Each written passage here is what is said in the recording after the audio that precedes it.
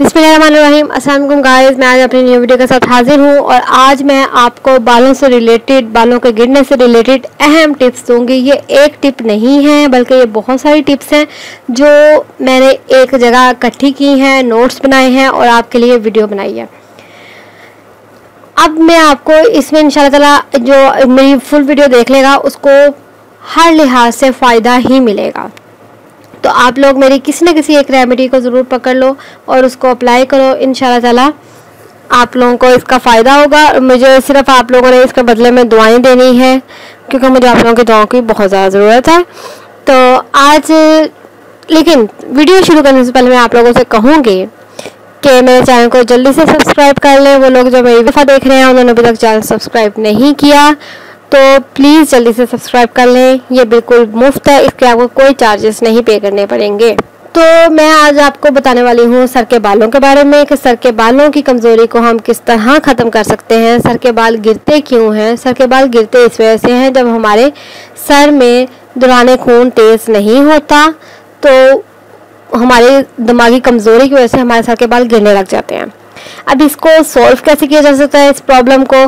तो इसमें मैं आपको डिफरेंट किस्म की टिप्स बताऊँगी। उन टिप्स को फॉलो कीजिएगा। इन आपको ज़रूर फ़ायदा होगा। आमले या सिकाकाई के पानी से सर को अच्छी तरह धो लें और किसी खास तेल से मालिश ज़रूर करें। अब खास तेल से मुराद यहाँ पे रोगने बादाम भी हो सकता है कॉस्टर ऑयल भी हो सकता है और कोकोनट ऑयल भी हो सकता है, जैतून का तेल भी हो सकता है। ये तमाम तेल बहुत ज़्यादा इफ़ेक्टिव हैं, दिमागी कमज़ोरी को दूर करने के लिए। इसलिए आप ज़रूर सर से, सर पे मालिश करें इसकी ताकि आपकी दिमागी कमज़ोरी भी कम हो सके। बाहमी बूटी के तेल का मसाज कर लें अगर पॉसिबल है तो। अगर आपके पास बाहमी बूटी नहीं है, उसका तेल मौजूद नहीं है तो कोई बात नहीं, आप किसी और जहाँ से आपको सहूलत मिलती है जो आपको इजीली अवेलेबल हो सकता है, आप उस तेल की मालिश करें। लेकिन तेल की मालिश करना बहुत ज़रूरी है, तेल की मालिश को हम इग्नोर नहीं कर सकते। और इस बात का ज़्यादा ख्याल रखा जाए, इस बात का ज़रा गौर किया जाए कि मसाज रात को करें और सुबह के टाइम उसको धो लें ताकि बाल गिरना आपके बंद हो जाए। अगर बाल तेज़ी से गिरने लगे तो दोपहर के वक्त बकरी के दूध की थोड़ी सी मकदार लें और सर पर इसका मसाज करें। गाइस, आपने नोट किया होगा कि मैं आपको डिफरेंट तेल की डिफरेंट टाइमिंग बता रही हूँ।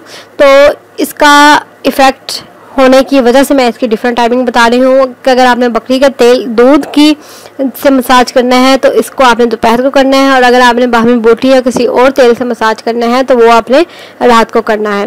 और एक तीसरी टिप जो मैं आपको बताने वाली हूँ, वो बहुत ज़बरदस्त है। वो ये है कि आपने चाय की पत्ती जो इस्तेमाल शुदा होती है, उसको पानी में दो से तीन जोश देने हैं और पानी में दो से तीन जोश देकर आपने उसको सर के बालों के साथ सर के बालों को उससे धो लेना है।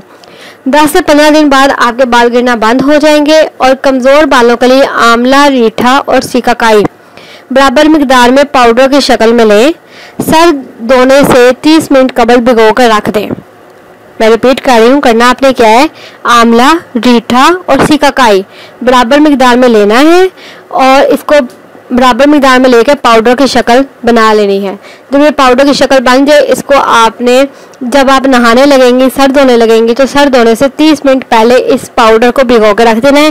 फिर इस लिक्विड को, जो पानी में भिगा हुआ पाउडर होगा, उस लिक्विड को आपने बालों पर मसाज करना है।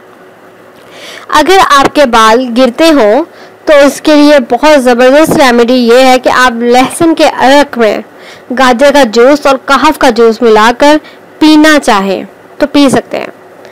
कोई इतना बड़ा मसला नहीं है। बहुत सिंपल सी बात है, लहसुन का अर्क लेना है, उसमें गाजर का जूस मिक्स करना है, उसमें काफ का जूस मिलाना है और वो आपने पी लेना है। गिरते बालों के लिए नारियल के तेल में कॉस्टर ऑयल मिक्स करके लगाएँ।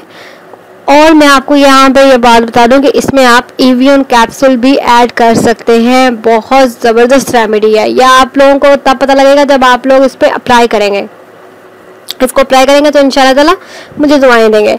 और फिर आपने मेरा चैनल ज़्यादा से ज़्यादा शेयर करना है वीडियोस ज़्यादा से ज़्यादा शेयर करनी है लाइक्स करनी है, अगर आपको इसका पॉजिटिव रिज़ल्ट मिला तो।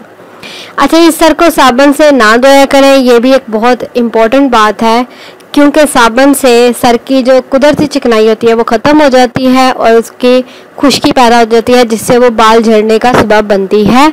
तो लिहाजा कोशिश कीजिए कि आप शैम्पू से बालों को धोएँ और को अगर पॉसिबल हो तो आप कंडीशनर भी यूज़ किया करें। कंडीशनर को आपने सर के बालों पे यूज़ नहीं करना। कंडीशनर को आपने सर की जड़ों पे लगाना है। एक अंडा लेकर इसे अच्छी तरह फेंट लें, फिर नीम गर्म तेल में अंडे को मिला दें। इसके बाद ये अमेज़ा बालों की जड़ों में कम अज़ कम 10 मिनट तक जज़ब करें। आधे घंटे के बाद सर धो लें, लेकिन इस टिप को, इस नुस्खे को, इस रेमेडी को यूज़ करने के बाद आपने ये काम नहीं करना कि फ़ौरन से साबुन से सर धो लिया या शैम्पू से सर धो लिया।